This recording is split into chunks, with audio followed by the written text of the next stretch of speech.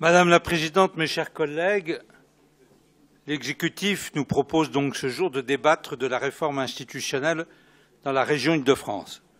Je salue cette initiative qui épouse parfaitement l'esprit républicain auquel nous sommes très attachés au Front national.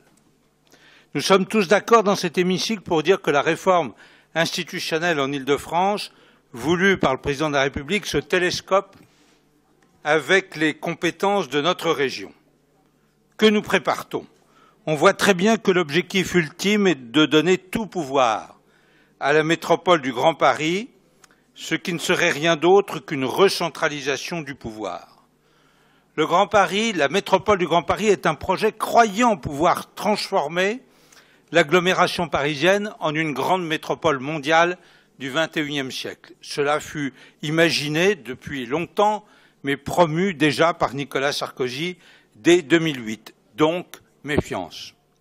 L'objectif est de créer une structure de gouvernance entre Paris, les départements des Hauts-de-Seine, de Seine-Saint-Denis, du Val-de-Marne et certaines communes des départements de la Grande Couronne parisienne, soit 131 communes pour 7 millions d'habitants, sur un territoire qui produit plus de 25% du produit intérieur national.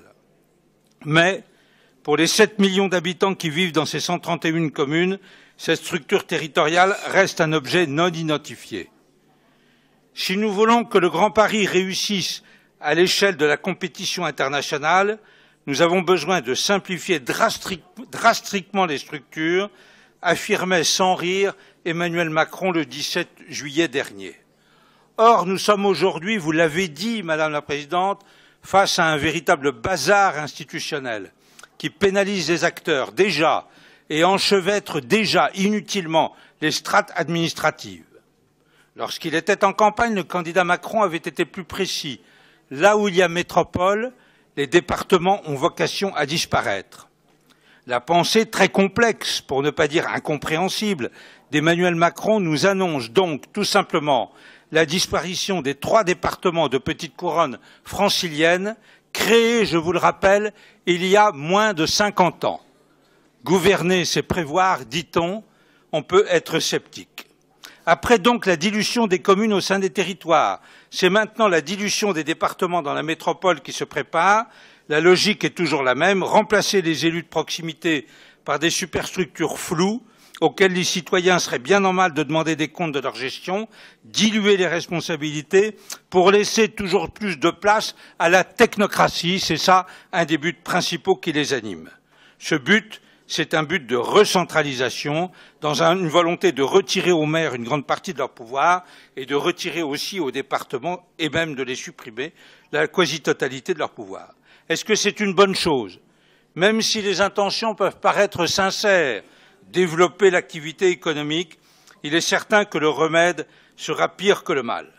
Que proposons-nous, nous, groupe du Front National? D'abord, les grands principes en la matière. Premièrement, simplification.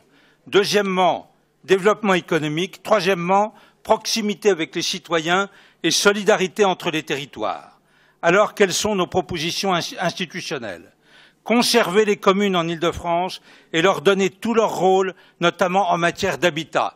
Je ne veux pas rappeler l'attachement des Français à euh, leurs communes. C'est par excellence l'institution de proximité. Et même en Île-de-France, et je dirais surtout en Île-de-France, compte tenu des souffrances de nos compatriotes, d'un grand nombre de nos compatriotes, la proximité deviendra et sera de plus en plus indispensable. Et que dire de la passion avec laquelle cette institution communale est servie par, euh, avec abnégation par un grand nombre d'hommes et de femmes? Conserver les départements et leur donner tout leur rôle, notamment en matière de solidarité. Ce rôle est essentiel pour la cohésion sociale et pour la, la cohésion territoriale. L'Île-de-France a absolument besoin de cet échelon intermédiaire. Et conserver la région Île-de-France, par exception à ce que nous proposons pour la France, il s'agit de la région capitale.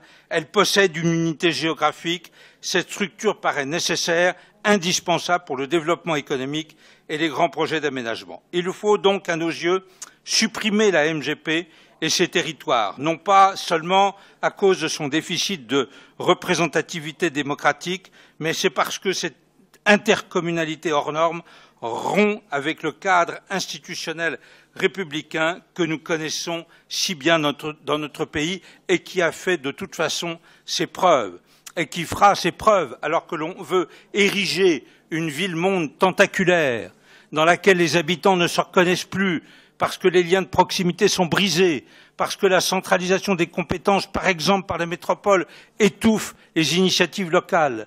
La métropole n'a pas à se substituer aux maires et n'a pas à substituer aux, aux, communes des trois départements de la petite couronne. Elle n'a pas à décider du plan local d'urbanisme. Elle n'a pas à décider de la fiscalité des entreprises. Elle n'a pas à créer des interférences, des courts-circuits avec les collectivités déjà en place. Et que dire, mes chers collègues, de ceux qui imaginent ou qui ne parviennent pas à imaginer que leur monstre créera immédiatement une région parisienne à deux vitesses, elle l'est déjà assez. Alors je me perçois qu'en réalité, notre groupe veut surtout conserver. Ça ne m'étonne pas totalement. Mais me direz-vous, vous ne voulez pas améliorer. Mais nous avons plutôt l'impression que M. Macron et ses amis veulent changer pour changer. Ils nous parlent de modernité, alors qu'on va revenir à ce qu'était avant 1970 l'ancien département, l'ancienne Seine-et-Oise. En fait, c'est ça. Alors, comme modernité et la perspective de faire de l'Île-de-France une très grande région économique, est-ce qu'il est utile de changer pour cela? Je dis qu'aujourd'hui, la région, le Conseil régional d'Île-de-France remplit son rôle en matière de développement économique. Il pourrait aller beaucoup plus loin, mais va-t-on lui retirer des compétences que l'on vient de lui attribuer?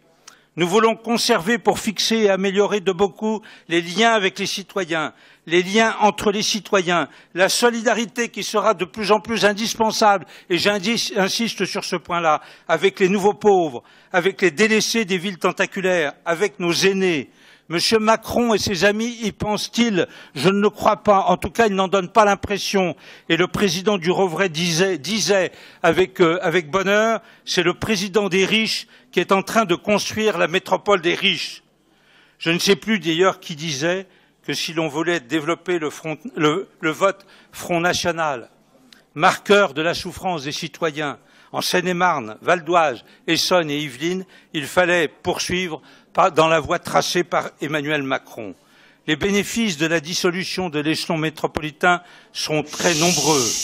Je viens de vous les décrire, mais ça rééquilibrera le territoire, ça clarifiera les compétences. Nous reviendrons à une vision nationale de la politique des transports et d'aménagement et nous pourrons peut-être penser à un dégonflement de l'urbanisation galopante. De toute façon, le Front National, notre groupe, je pense au Conseil régional, veut assainir notre paysage institutionnel et parvenir à une région forte mais solidaire, non à la métropole de M. Macron. Et la métropole de M. Macron, en réalité, c'est une nécropole. Je vous remercie.